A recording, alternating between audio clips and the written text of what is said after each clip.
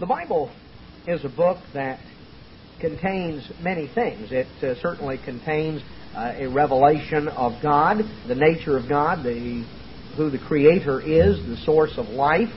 Uh, it tells us about man and mankind's origin. It talks about God's plan for man and the fact that we're not simply accidents, that uh, life is not uh, merely a matter of something that drifts along and has no particular plan or purpose or uh, ultimate outcome to it. The Bible uh, tells us about God. It tells us about mankind. Uh, it tells us about a way of life. It uh, uh, has all sorts of information in there, and somewhat over about one quarter of the Bible is Bible prophecy. Now, there are reasons why that so much of the Scripture contains prophecy. Uh, we think of certain books as being prophetic. Uh, we think certainly uh, of the book of Revelation, of, of that uh, would, would come to mind. That is uh, virtually uh, prophetic in its entirety. but there are many other prophetic portions of the Bible. we, we have the books in the Old Testament. We call them major prophets. that's not because they're more important, it's because they're longer Isaiah, Jeremiah, and Ezekiel. And much of, of the material contained in those books is prophetic. Uh, the minor prophets, uh, so called because they're shorter books. Uh, Hosea uh, through Malachi, the 12 minor prophets, are loaded with prophecy. Much of the material contained in them is prophetic. Uh, many other books, uh, such as Daniel, has quite a bit of prophecy in it. And for that matter, there's prophecy scattered throughout the entirety of the Bible. Much of the Psalms is prophetic. Uh, many of the Psalms focus in uh, prophetic of the time of the Messiah's reign, the time of the world to come. Uh, much of it is prophetic of Jesus Christ, of his ministry. Uh, for that matter, you can start in the book of Genesis and go all the way through, and you find prophecy scattered through all of the books of the Bible. Uh, much of what Jesus Christ had to say, much of that was also prophetic. Uh, there's prophecy in Paul's epistles. There Paul explains about certain things uh, relating to the end time and certain signs, uh, there is prophetic material scattered throughout the Bible. And at least one quarter of the Scriptures could clearly be called prophetic. Uh, sometimes you'll read different amounts. Uh, uh, some may say 25%, some may say 30%. I guess it depends on how you choose to count it, but I think we can safely say uh, that uh, over 25% of the Bible is prophetic. Now, why does God do that? What is the purpose of Bible prophecy?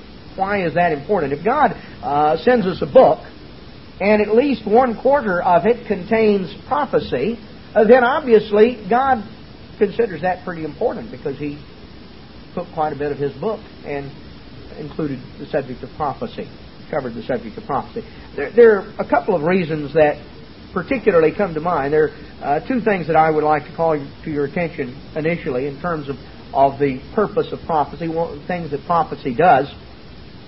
For one thing, uh, prophecy declares and evidences the sovereignty of God, the greatness, the power of God. Uh, Isaiah lays that out very clearly back in Isaiah chapter 46.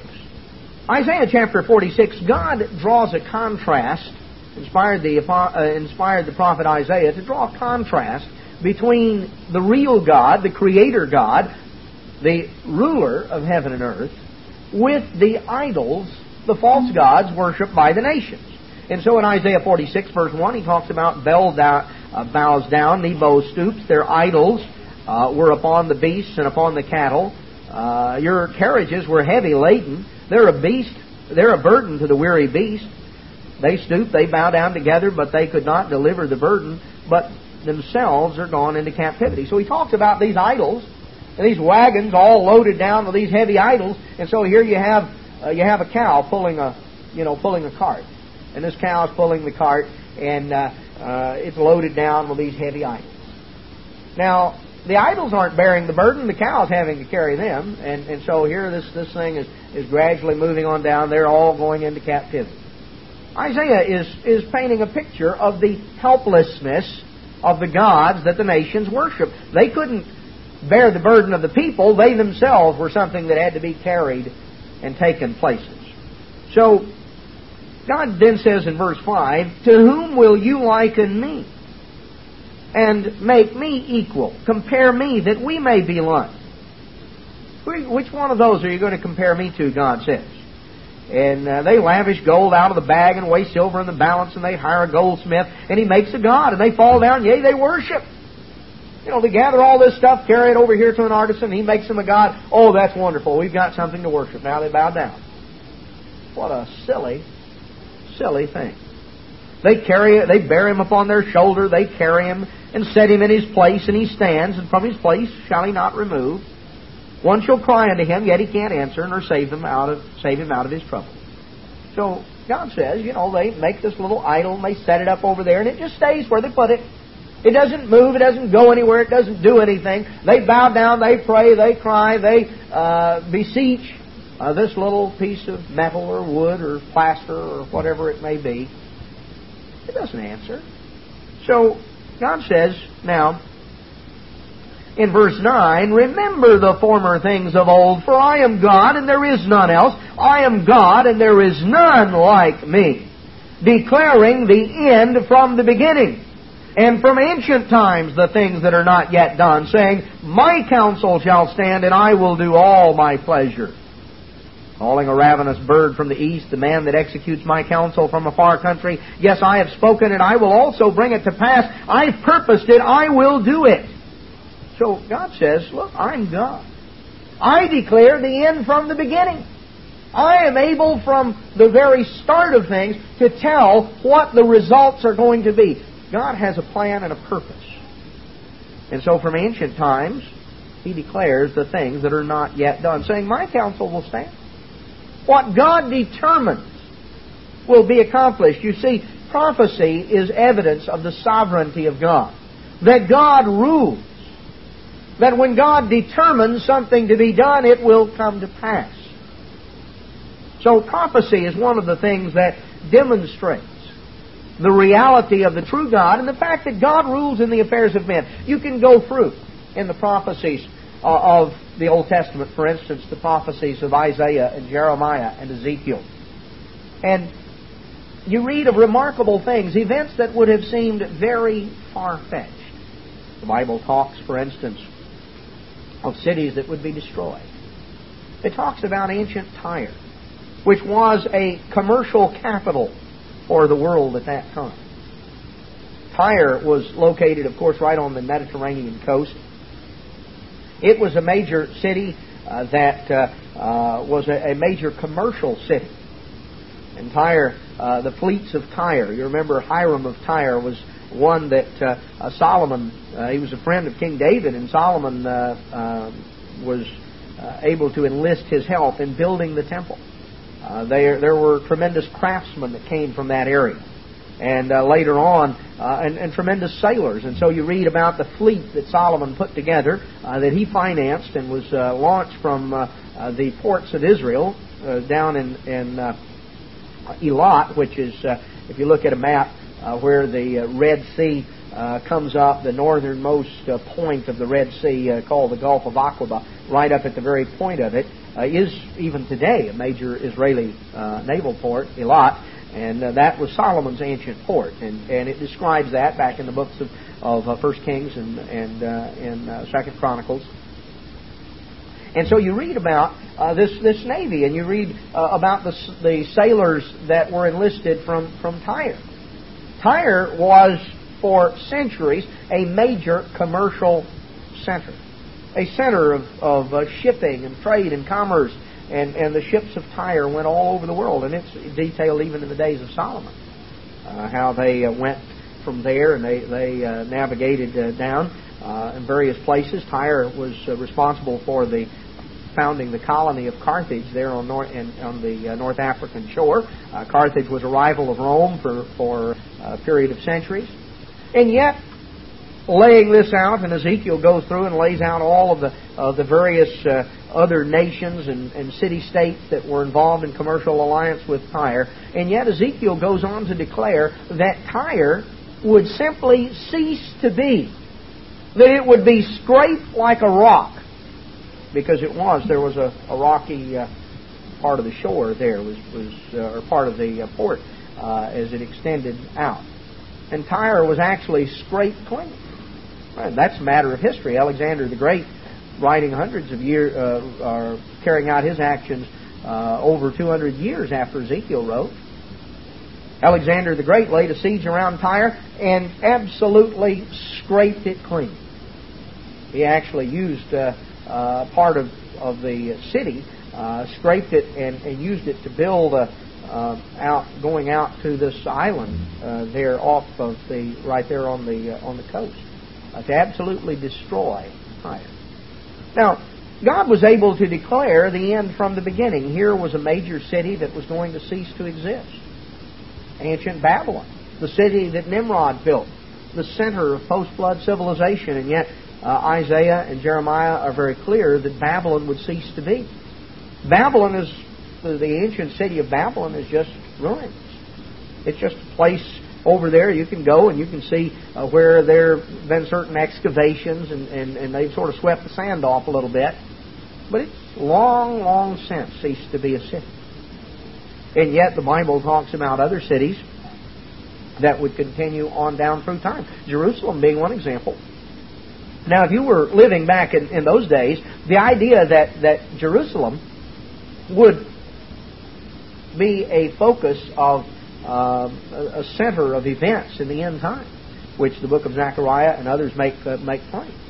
What are the odds of something like that? A city that has been destroyed and yet rebuilt, a city that has been dominated over, trodden down of the Gentiles for centuries, as was prophesied. Uh, Jerusalem will be trodden down of the Gentiles until the times of the Gentiles are complete.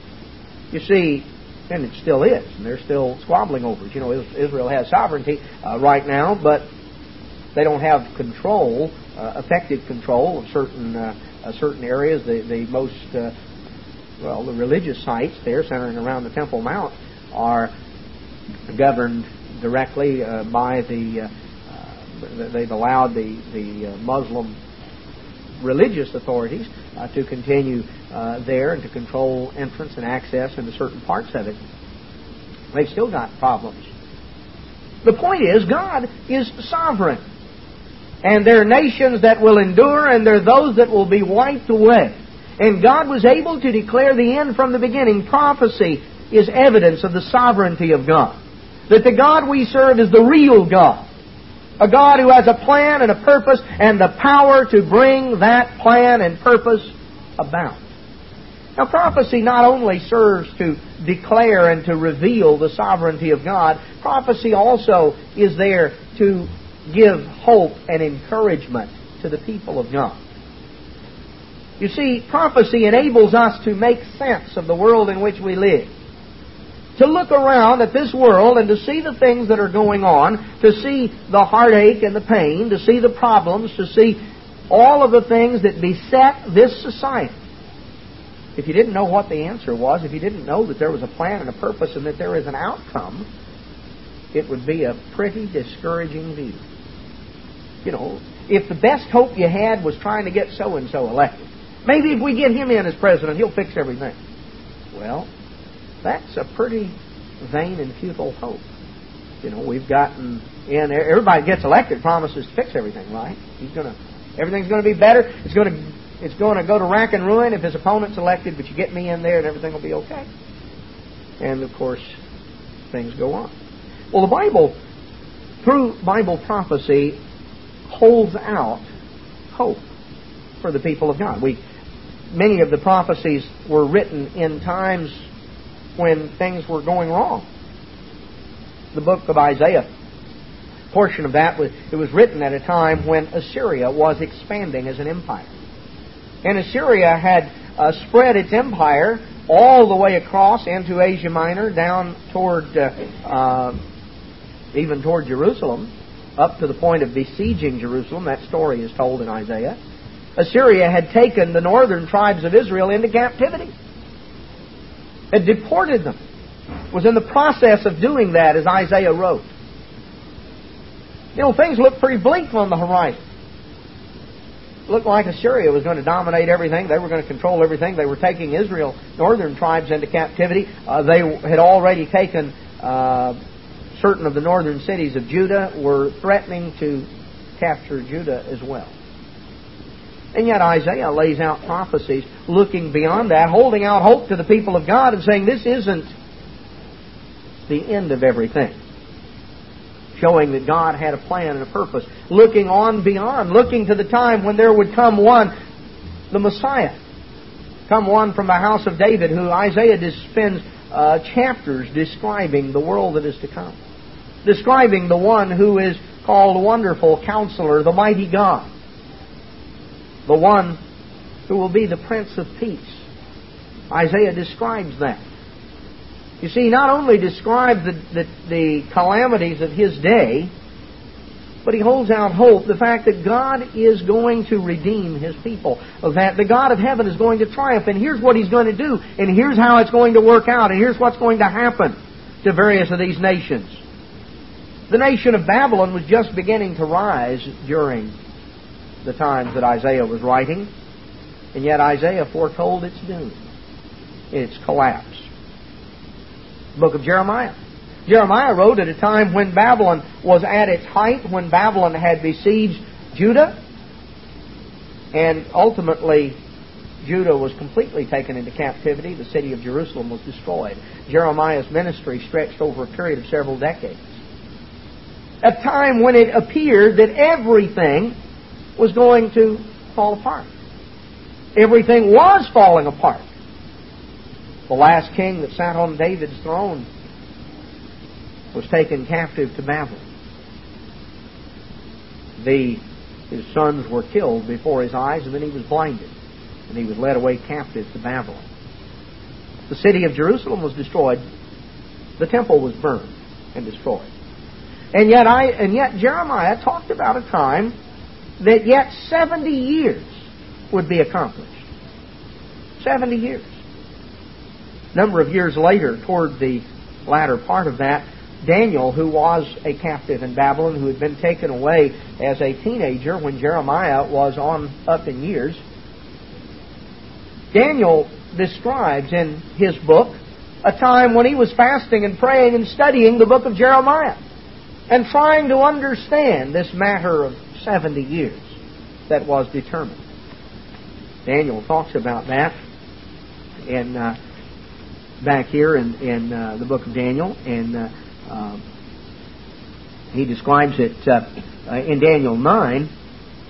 This is the first year of Darius, uh, who was made king over the realm of the Chaldeans. A lot of the historians misunderstand this. Darius was a was a royal title, and uh, Cyrus was the king or emperor of the empire of the Medes and the Persians, was responsible for the conquest of Babylon. But Cyrus himself didn't enter Babylon at that time. Uh, the uh, Babylon was being ruled by Belshazzar. You remember that story in the book of Daniel. But Belshazzar was actually co-regent with his father, uh, Nabonidus, who was elsewhere in the empire with the main Babylonian army. That's why Belshazzar told Daniel uh, that he would make, you know, that if he would would tell him what the handwriting on the wall meant, he would make him third in the kingdom. Well, the reason he said third in the kingdom is because Belshazzar himself was second in the kingdom. His father was the chief king, but his father was elsewhere, and Belshazzar was the one who was actually reigning, ruling in Babylon, uh, and was associated on the throne with his father. Now, Cyrus went elsewhere to fight Nabonidus, and Darius was uh, of the royal seed of the Medes and was actually served as king over the realm of the Chaldeans, ruled that area of Babylon uh, for a couple of years until Cyrus returned. And uh, anyway, notice Daniel 9, verse 2 In the first year of his reign, I, Daniel, understood by books or by letters the number of the years whereof the word of the Lord came unto Jeremiah the prophet say that he would accomplish 70 years in the desolations of Jerusalem. Now, you see, this Daniel is writing this within the first year after Babylon had been conquered. Daniel had gone into captivity from the time that the original conquest, Nebuchadnezzar came in in 604. So a period of 65 years since Nebuchadnezzar's original conquest of Jerusalem has, has taken place. Daniel is now an elderly man, on up probably past 80. He's been in Babylon. You see, he came there, uh, he's probably about 80. Came there when he was maybe 14 or 15. Uh, 65 years have passed. So now he's on up about 80 years of age. And he's studying the book of Jeremiah. Jeremiah chapter 29 and verse 10 makes reference, you, you, if you want to uh, just be uh, aware of that. In uh, Jeremiah 29:10, it talks about um, where uh, this is the words of Jeremiah, and uh, here, and he talks about the fact that the people are going to be uh, well, Jeremiah 29, 4. Thus says the Lord of hosts, the God of Israel, unto all that are carried away captives, whom I have car- caused to be carried away from Jerusalem unto Babylon. Build houses and dwell in them, plant gardens and eat the fruit of them. Take wives, begat sons and daughters. Now down in verse 10. For thus says the Lord, after 70 years are accomplished at Babylon, I will visit you and perform my good word toward you in causing you to return to this place. So Daniel is here reading the book of Jeremiah, studying the book of Jeremiah, trying to understand what's the starting point.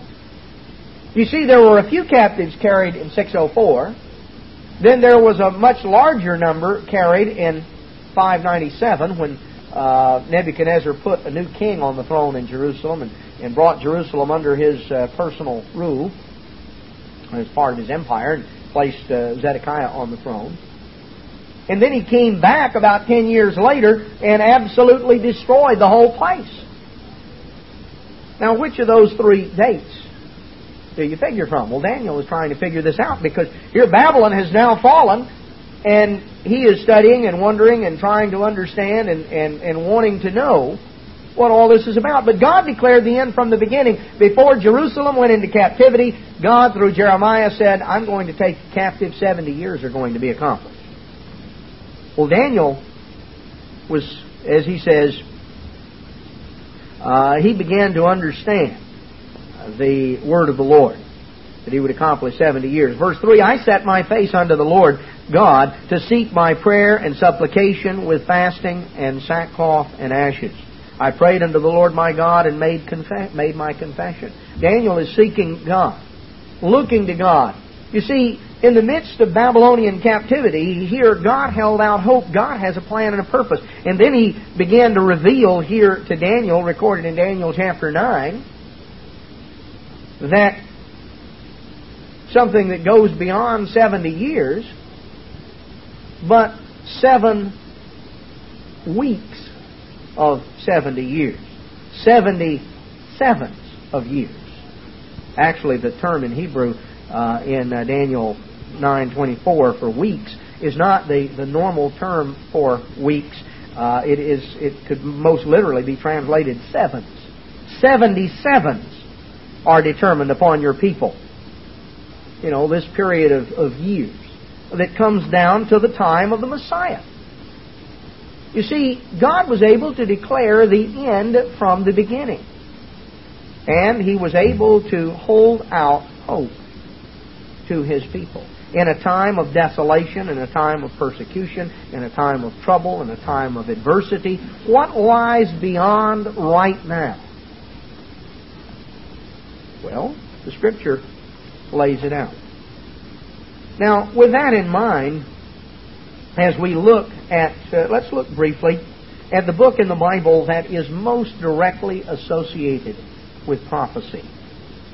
The book that represents the, the capstone to the Bible, the book of Revelation. A book that completely corresponds to the book of Genesis.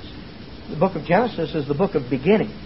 The book of Revelation is just that. It is the book of revealing Genesis tells you how it all started. In the beginning, God created the heavens and the earth.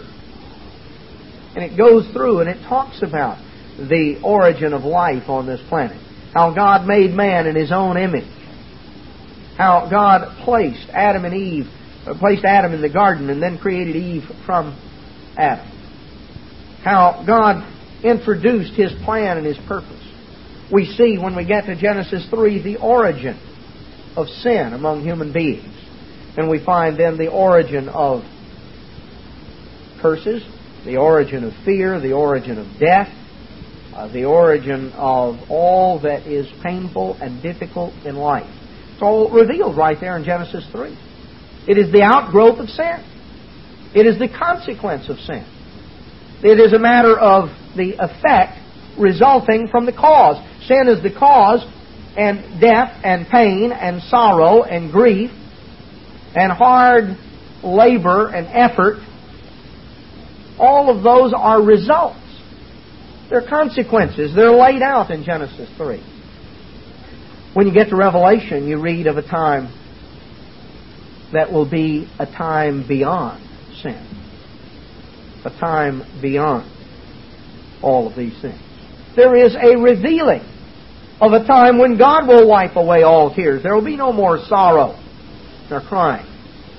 There will be no more pain. There will be no more curse. You see, the book of Revelation holds out and lays out, and yet, to most people, it is the most mysterious book in the Bible. You can hear every sort of idea imaginable about this book. And yet, if you notice in Revelation chapter 1, the revelation of Jesus Christ, which God gave unto him to show unto his servants things which must shortly come to pass. And he sent and signified it by his angel unto his servant John. So it is a revelation, an unveiling, a revealing that was initiated by Jesus Christ. God the Father gave it to him. You remember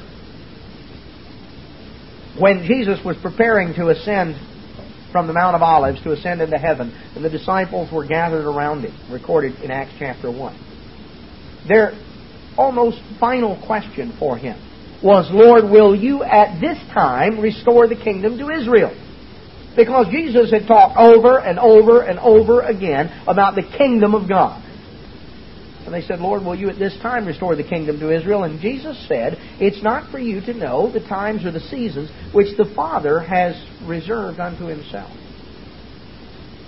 The Apostle Paul, writing over in, in uh, recorded in, in, the book of Acts, uh, where he was there at uh, in Athens on Mars Hill, and he talked about how God has uh, to to all nations how how that uh, God has determined the times before appointed, the bounds of their habitation.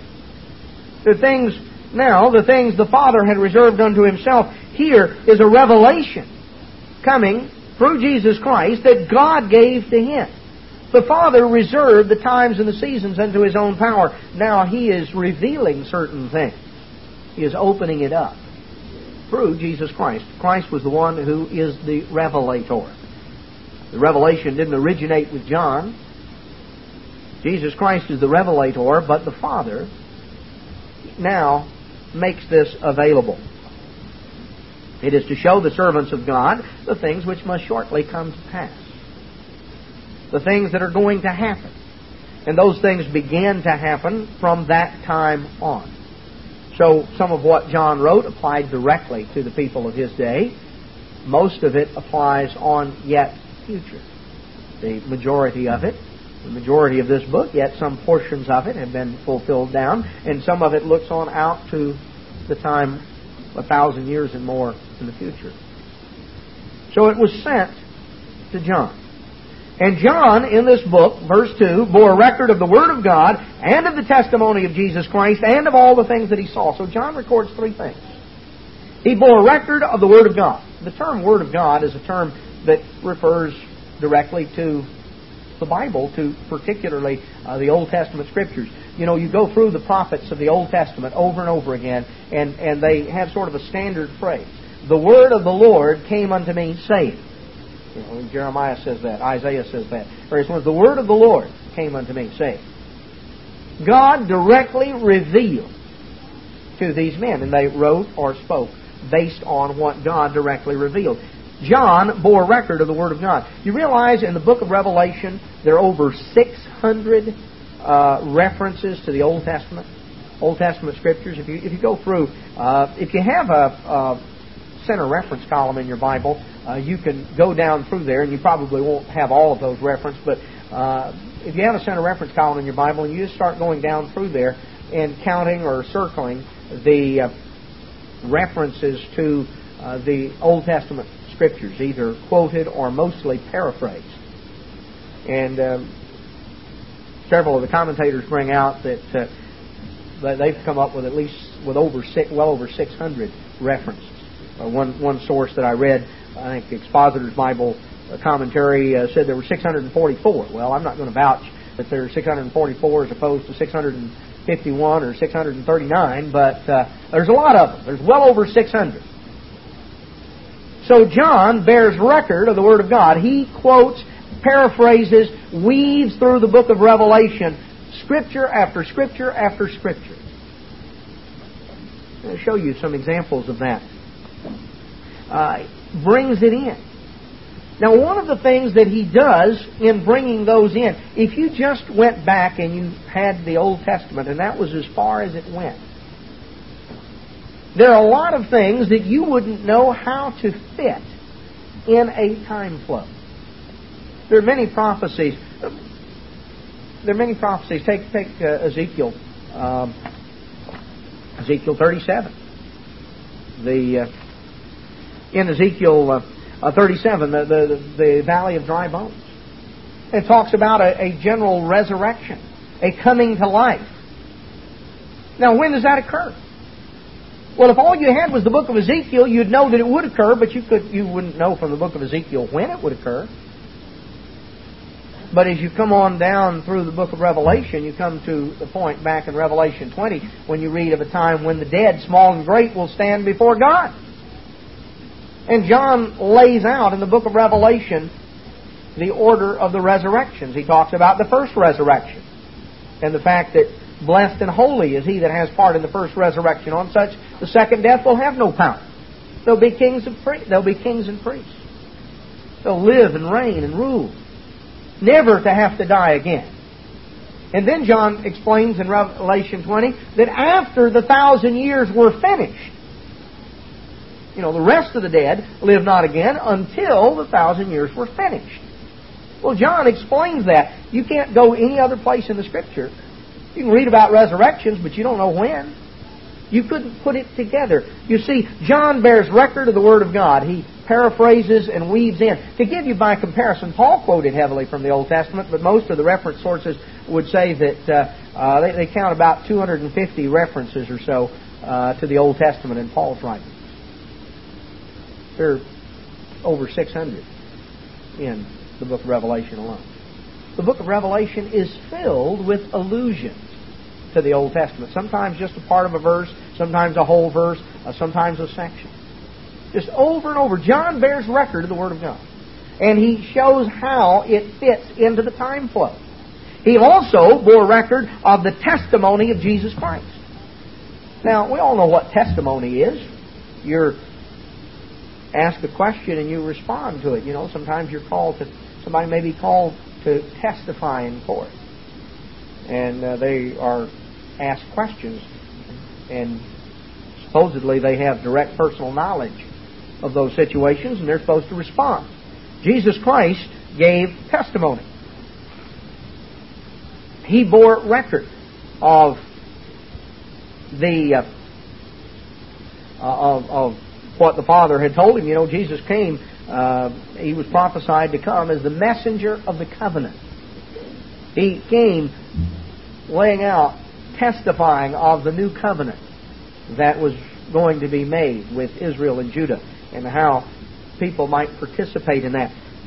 Jeremiah 31 prophesies of that, and, and uh, Malachi uh, prophesies of that. Jesus Christ came proclaiming that. He gave testimony in response about the kingdom of God and revealed and made plain all sorts of things about the kingdom of God. In Matthew 24, along with the parallel accounts in Mark 13 and Luke 21. Jesus Christ gave direct testimony in response to a question the disciples asked. They said, Tell us, when shall these things be? What will be the sign of your coming and of the end of the age? They ask a question, and Jesus Christ then began to go through and answer that question. Much, many places in the book of Revelation, you have direct first person quotation from Jesus Christ himself. John bore record of the testimony of Jesus Christ. John was there on the Mount of Olives, was one of the little group standing around Jesus when he heard him respond to the question of what will be the sign of your coming and of the end of the age. John bore record of that testimony here in this book. He bore direct record of what Jesus Christ said, both of from the Old Testament scriptures and the testimony of Jesus Christ, and of all the things that he saw. You know, John, uh, uh, you and I get to read the book. John saw the movie. Uh, you know, he was he saw in vision. He saw these things. And he wrote down what he saw. And he described, you know, he tried to describe what he saw in the language available to him. If you or I were to see something that we had never seen before, if we were to see some great, fantastic weapon, some sort of futuristic thing, how would you describe it? Well, you would use the language available to you. You know, it's like when people saw the first automobiles. What did they call it? A horseless carriage that was that's what it, that was what it looked like. You know, and in most cases, that's what it was. It was a carriage that they they attached a motor to. It didn't have a horse. John described, you know, he saw certain things, and it was sort of like a locust, and it looked like this, and it looked like that, and well, you know, John never seen an Apache attack helicopter, and uh, didn't have a word for that. So he described what these things looked like. He, re, he described, bore record of the Word of God, the testimony of Jesus Christ, and of all the things that he saw. Blessed is he that reads, and they that hear the words of this prophecy, and keep those things which are written therein, for the time is at hand. So the, notice now, he begins the direct introduction to the letter, the, the uh, uh, this was sort of the preface. He's telling us the origin of the book. John, to the seven churches which are in Asia, grace be unto you and peace from him which is, and which was, and which is to come, and from the seven spirits which are before his throne, and from Jesus Christ, who is the faithful witness and the first begotten or the firstborn from the dead, the prince of the kings of the earth, unto him that loved us and washed us from his, our sins in his own blood, and has made us kings and priests unto God and his Father. To him be glory and dominion forever and ever. Amen. Now notice, let's look right here. Starts out, this is from him which is, which was, and which is to come. If you go back to the book of Exodus, when God appeared to Moses in the burning bush, and he told Moses that he had a commission for him, he had a job. He wanted him to go back to Egypt and to deliver his people. And Moses was a little dubious about this. He said, Well, you know, I've been gone from Egypt 40 years. I show up back there, and I say, you know, the God of your, the God has said that I'm supposed to deliver you, bring you out. Why would the people believe me? You know, they're going to ask a lot of things. They're going to say, uh, "What's his name?" You know, the Egyptians worshipped a lot of gods, and God revealed Himself to Moses under the name as described here in Exodus uh, 13, Exodus 3:14.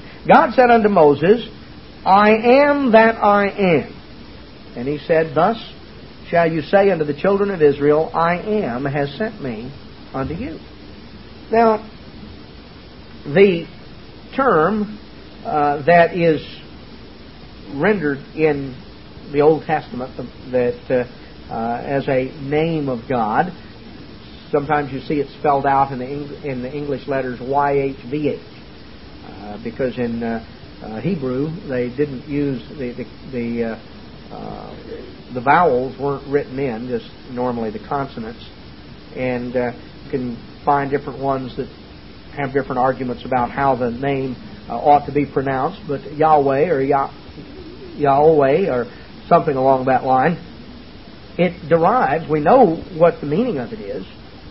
And this is something, by the way, that uh, it, it, I'd call your attention to.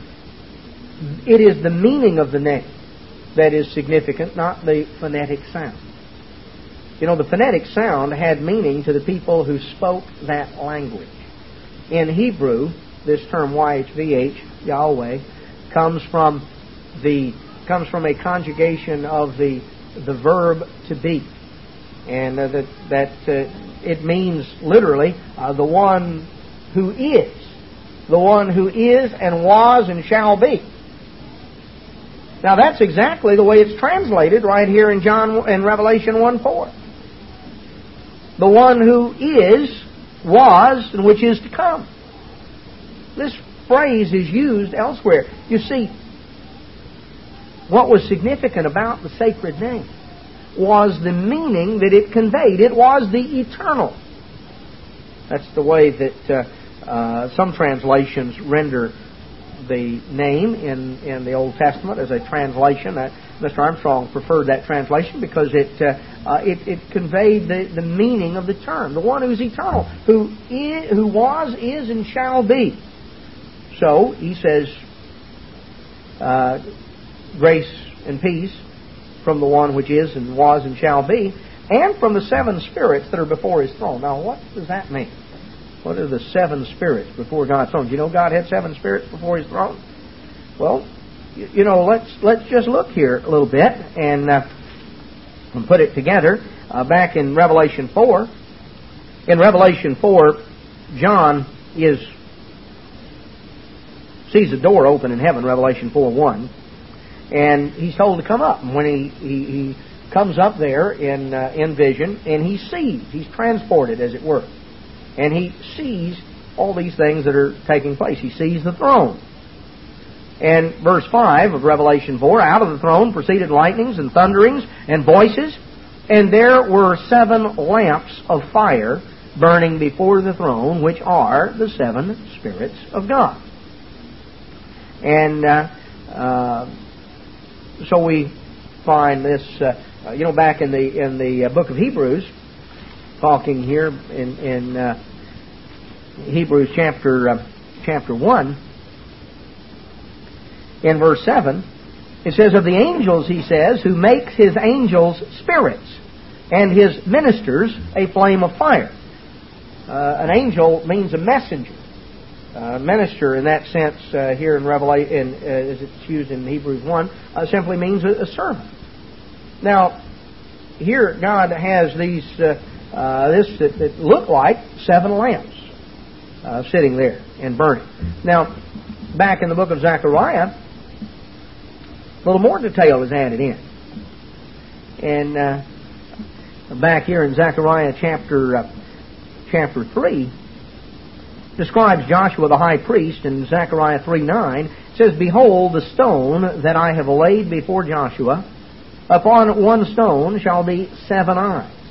Behold, I will engrave the graving thereof, says the Lord, and I will remove the iniquity of that land in one day. So he talks about seven eyes. Now, if you just come on over uh, a few uh, uh, on over in the in the next uh, uh, chapter, chapter four, in verse ten,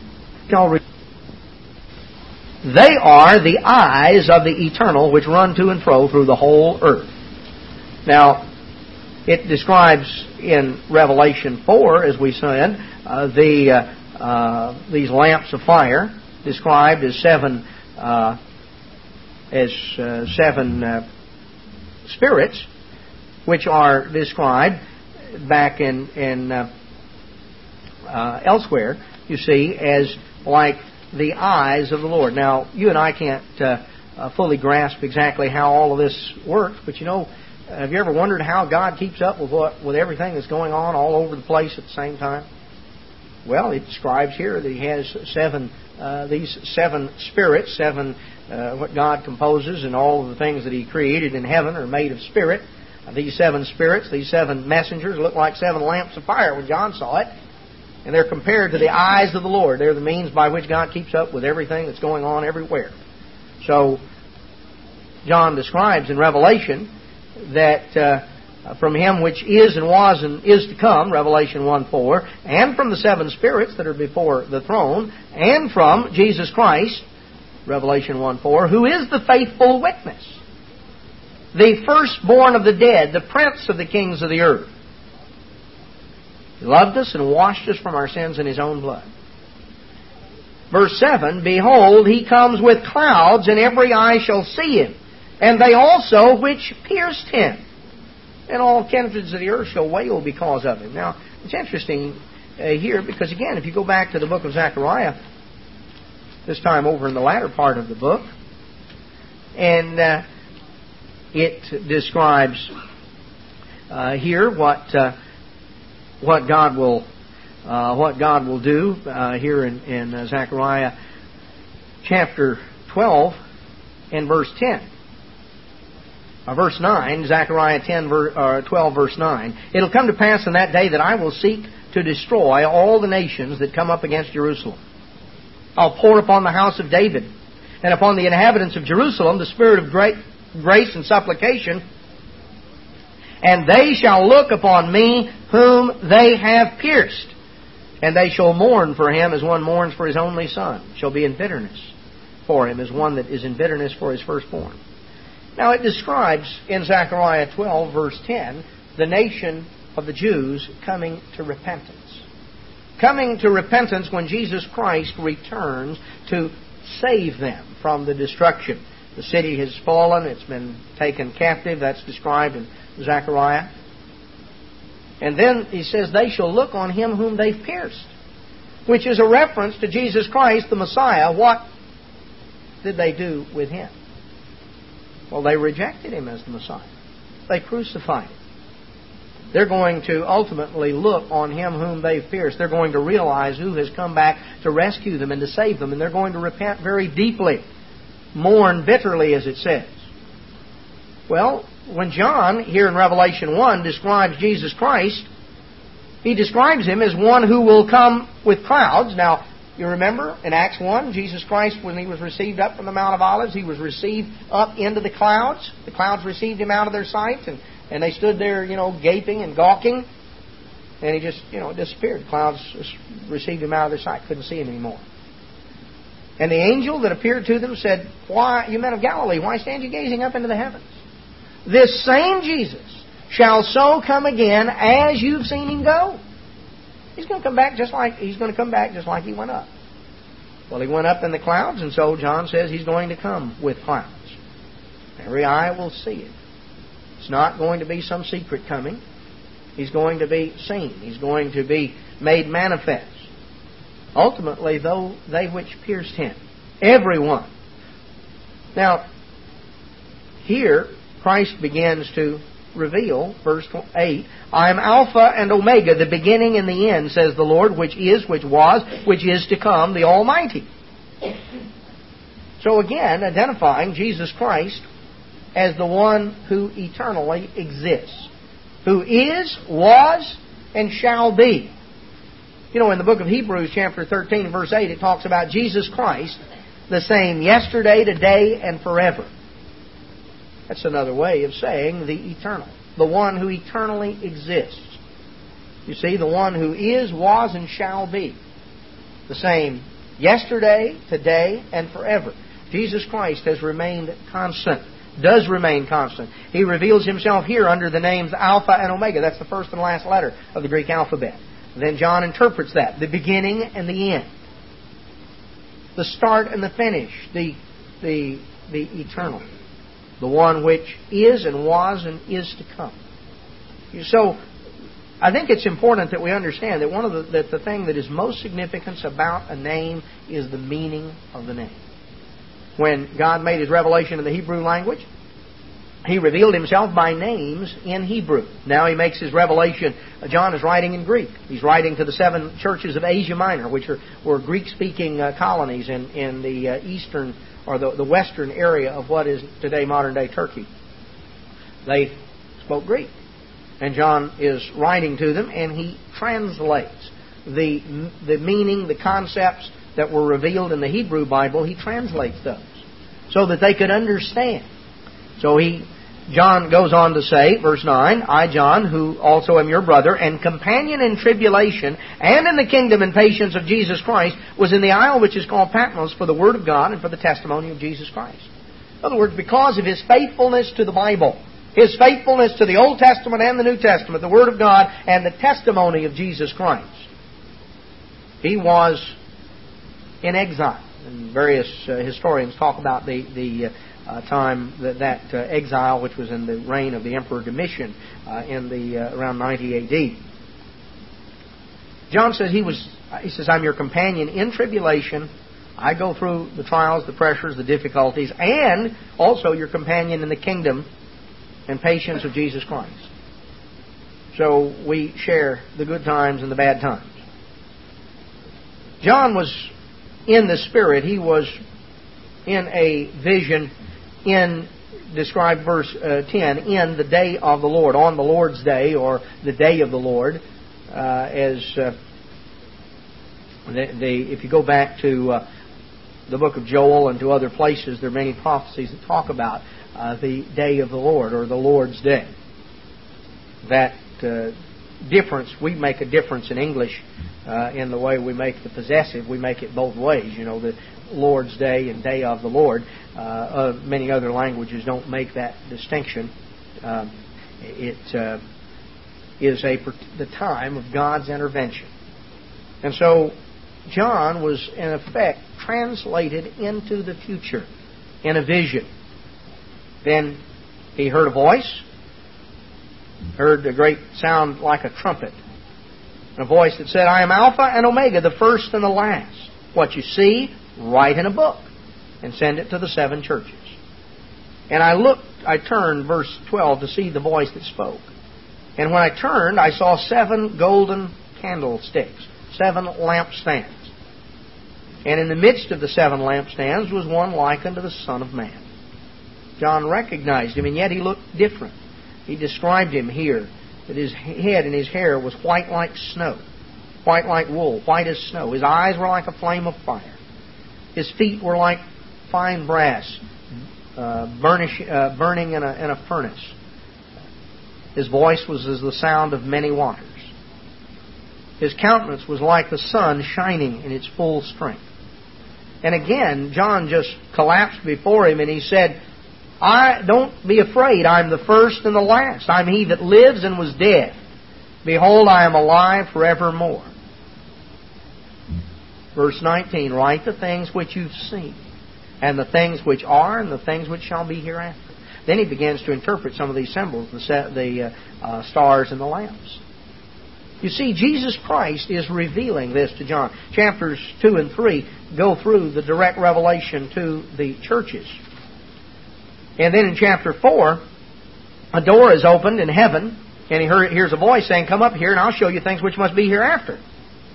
I'll show you on beyond. So John in, in, Revelation 2 and 3 recorded a message to the seven churches, seven literal congregations in Asia Minor that typified the church down through time. They were represented by the seven lampstands. Christ was in the midst. It symbolized, was symbolic of the whole church. Well, John describes this vision of heaven and the throne, uh, seeing the throne of God. You can go back to Ezekiel and read a similar description.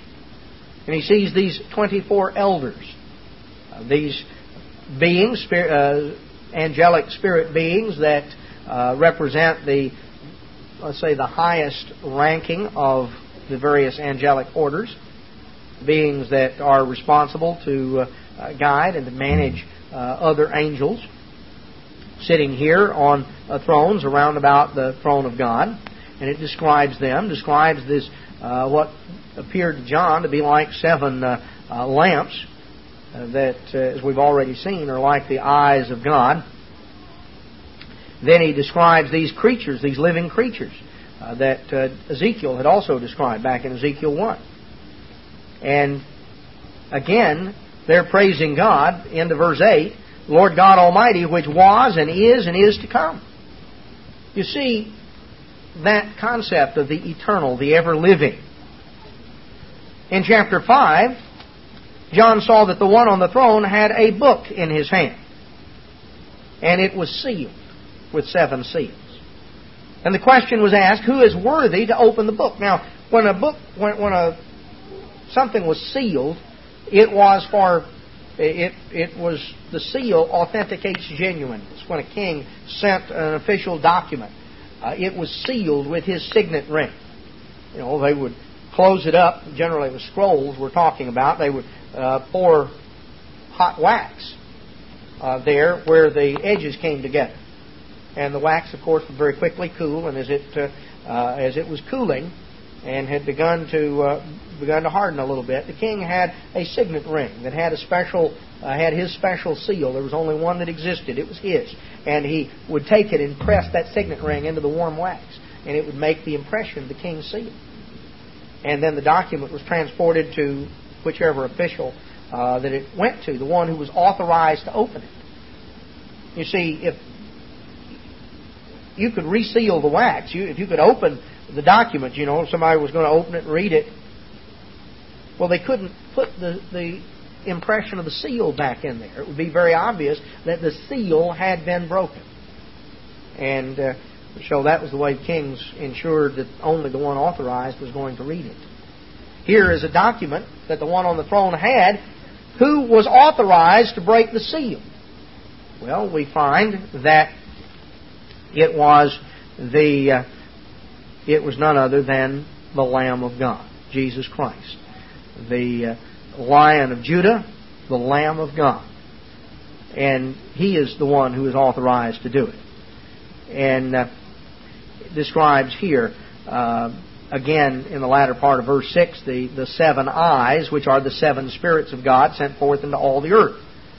So He came and He took the book, and now we find that all in heaven, all the various angelic creatures, uh, bow before Jesus Christ, who is authorized to open the, the book. Chapter 6 tells us that he began to open the seals. He opened them one at a time, so we know the seals are consecutive. The first four are described as riders on a horse. On a horse. Rider on a white horse, rider on a red horse, rider on a black horse, and a rider on a pale horse. Now, Jesus Christ, back in Matthew 24, had described what was going to happen in response to the question of what will be the sign of your coming, the end of the age. The first thing Jesus Christ said, first thing he warned about, was beware of false prophets. Many will come in my name, saying I'm Christ, will deceive many. Well, here we find the first thing mentioned is the white horse. You know, white is the symbol of Christ. It's a symbol of righteousness or purity. Jesus Christ is pictured in Revelation 19 as coming on a white horse. Well, here is not the coming of Christ. Here's one coming masquerading as Christ. You know, in, in the book of First uh, Thessalonians, the Apostle Paul, uh, writing about the end time, It says in 1 Thessalonians 5, Verse 1 Of the times and seasons, brethren, you have no need that I write unto you. You know perfectly the day of the Lord comes as a thief in the night.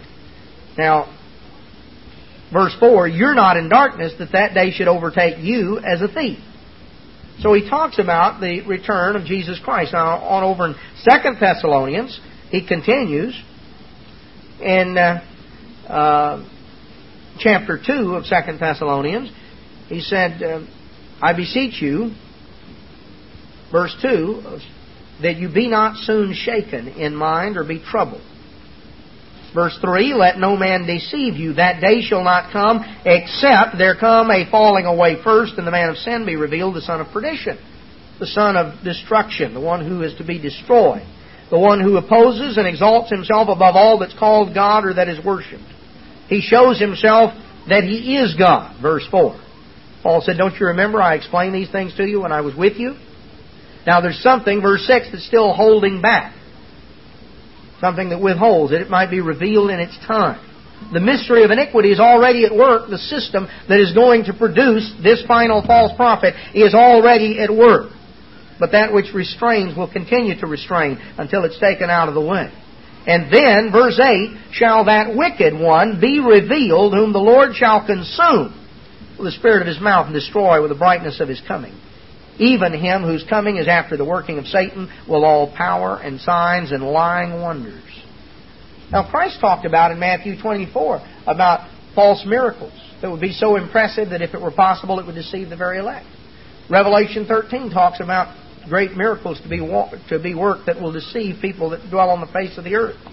You see, Second Thessalonians talks about a great false religious leader who is going to claim to be God incarnate. Paul explained in Second Thessalonians that that day won't come unless there are two things that have to happen first. One, a departure from the truth, a great falling away, and secondly, that final man of sin. Now, there have been a lot of men of sin. There have been a lot of men uh, who have been anti Christ, who have stood for the very antithesis of, of what Jesus Christ taught. There have been various individuals who have promoted the way of sin, but this is that final man of sin, the one that will be destroyed by Christ at his coming. Well, Christ hasn't come back yet, so that one hasn't been destroyed yet. What we find is you put Second Thessalonians together with Matthew 24, with Revelation 6.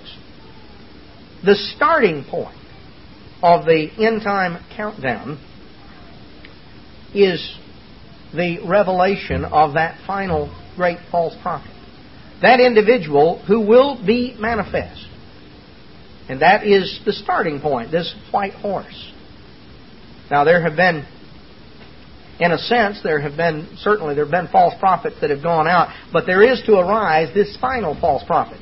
And as Paul explained it in 2 Thessalonians, uh, that day won't come except first that man of sin will be revealed. The one whose working is after the power of Satan. The one who will exalt himself above all that is called God. The one that Jesus Christ will destroy at his return. One of the things to watch in turn, we can look and you see wars and you see famines, you see all these things. But the sequence, the opening of the seals is in sequence. And the first seal is the white horse, the rider on the white horse. He has a bow, the symbol of Nimrod, the mighty hunter. Jesus Christ returns with a sword, the sword, the Word of God in his hand, going out from his mouth. This individual, this final false prophet, the, the sequence begins here, the opening of the seals, with the manifestation of this final false prophet. And then we find the red horse comes out, has power to take peace from the earth. Again, Matthew 24 makes it plain. You know, after false prophets come wars and rumors of wars. And then uh, nation against nation, kingdom against kingdom. Then it describes the rider on the black horse, famine, describes the pestilence, the disease. The fifth seal is opened, symbolic of a future martyrdom, time of tribulation on the people of God. Again, when you go through Revelation 6 together with Matthew 24, the sequence is plain. And the false religious leader, this great uh, indiv- impressive individual, is going to appear on the world scene prior to these things, prior to the uh, tribulation, because he, this is the first seal.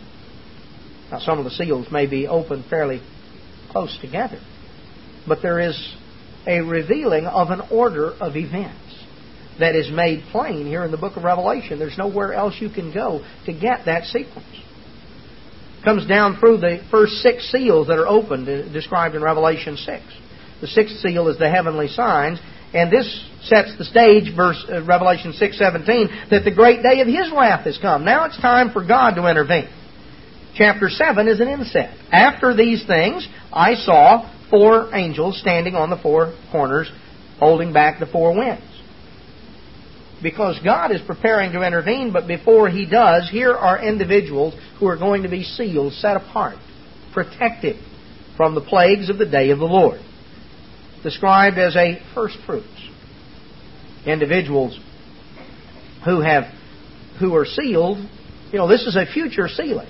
Some people, you know, look around and wonder uh, about the, this 144,000. Well, it's very plain in, in the in the sequence that Revelation chapter 7 comes after the first six seals have been opened prior to the opening of the seventh seal, which is in Revelation 8, verse 1. The sealing of the 144,000 is in the future. There are individuals who will be protected from the plagues of the day of the Lord. John draws the contrast, or, or describes here the contrast in the first half of, of chapter 7 with these individuals who are sealed. Um, and then afterward, verse 9, he saw a vision on beyond in the future uh, that saw the great multitude standing before God, uh, standing before the throne. Uh, he sees the salvation, ultimately, the great uh, number of, of people who are a part of, who are ultimately in the family of God. So the contrast between the starting and the conclusion is brought out here chapter 8 opens the, the seventh seal. And we find that the seventh seal consists of seven trumpets, Revelation 8, verse 2. And these trumpets begin to sound, and God, these represent God's intervention, the destruction of various things, as God begins to deal with this world in rebellion against Him. And it goes down through chapters 8 and 9, describing uh, the opening of these uh, of these seals, or rather, the blowing of the trumpets. This is the after the, the seventh seal is the uh, the blowing of the trumpets, and so we come down through the uh, the blowing of these trumpets, and the fifth trumpet is sounded in chapter nine, verse one, and the sixth trumpet uh, here beginning in verse uh, verse fourteen. Then, as we come on down, we find sort of insets to tell us what's going on. You see, as you're telling a story, you go through the sequence of the story, but sometimes you have to go back and pick up threads to, to bring you up. Uh, chapter 11 talks about two witnesses uh, that are prophesying during this three and a half year period in Jerusalem and the power that God gives them. Uh, then uh, it, describes that. And, and uh, uh, chapter 12 describes the story of the church and how that they are uh, protected by God, nourished, chapter 12, verse 14, uh, for a time, times, and a half a time from the face of the serpent, protected this same period, this period of, of uh, tribulation, uh, this period of, of adversity. And chapter, we read about the seventh angel, the seventh sounding, that uh, is described in chapter 11 and verse 15. Uh, we begin to pick up the sequence again uh, as chapter 11 runs through the uh, runs through the story of the, of the two witnesses. You know, chapter 13 then goes back and picks up the story of the beast, going back quoting from Daniel and showing here uh, the beast and, and the pressure that is brought to bear for people to accept uh, that system uh, to accept the name of the beast, the mark of the beast in their foreheads. Chapter 13, verse 16, which is the sign of disobedience. It is a sign to, that distinguishes those in rebellion against the law of God from those obedient to the law of God. You know, the wrath of God is poured out upon the children of disobedience. Uh, the, the mark of the beast is the antithesis of the sign of God. It is a sign of disobedience or a mark of disobedience as opposed to a sign of obedience, of obeying God. Chapter 14 provides a, a contrast. See, chapter 13 opens up with, with those who've accepted the mark of the beast in their forehead. Chapter 14 opens with those who have the Father's name written in their foreheads. Those who have surrendered to God, who walk with God, uh, who are picks up the story, you see, of this group of 144,000 we saw back in in chapter 7. Here it looks at them later on down. It looks at them, uh, chapter 7 looked at them before the wrath of God was poured out. Chapter 14 looks at them after the wrath of God has been poured out and is in the process of being poured out. And now they're standing with Christ on Mount Zion, which was the seat of government. This is picture after his return. Over and over we see that the saints are described in verse 12 as those who keep the commandments of God and the faith of Jesus. You see, who obey the whole Bible, keep God's commandments, and have Christ's testimony. It describes here the punishments being poured out on in chapter uh, 15 and 16, and uh, uh, chapter uh, 14 and 15 and 16. Chapter 17 goes back and describes the uh, is going to describe the judgment on this great religious system called the Great Whore, uh, here in Revelation 1 or 17:1, and it describes, picks up the story from Revelation 13 and describes the beast that is ruled over and dominated by this religious system. Chapter 18 describes the the judgment on the city and describes it in the context of, of a commercial, economic powerhouse. See, there are several aspects. It is religious, it is military and political, it is economic. It involves uh, this whole system. Chapter 19 is descriptive of the. It talks about the marriage supper in chapter 19 in verse 9. those who are called to the marriage supper. And chapter 20 then picks up the story here at the return of Christ, talks about the binding of Satan, the rule of the saints for a thousand years, the white throne judgment. Chapter 21 then is beyond that the new heavens and the new earth, concluding here in Revelation 22 with the final vision. And we're told in Revelation 22:14 22:12, "Behold, I come quickly; my reward is with me to give every man according as his work shall be. I am Alpha and Omega, the beginning and the end, the first and the last," just the way he opened the book. "Blessed are they that do his commandments, that they may have right to the tree of life and may enter in through the gates into the city." You see, the Bible starts out in Genesis with the tree of life, and it ends up in the book of Revelation with the tree of life. It ends up again with the emphasis on obedience to God.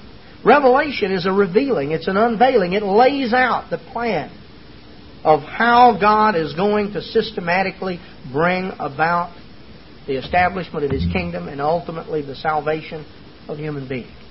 It lays out what's going to happen in the years ahead of us. We've just looked at sort of a bird's eye view of some parts of it. But it is important as we go through and as we understand, we, we have an outline. And everything ultimately will fit into that outline. Jesus Christ revealed the future. He made knowable to the servants of God, demonstrating both God's sovereignty and power in bringing about what He purposes and holding out hope to the people of God for the ultimate destiny in which we can share.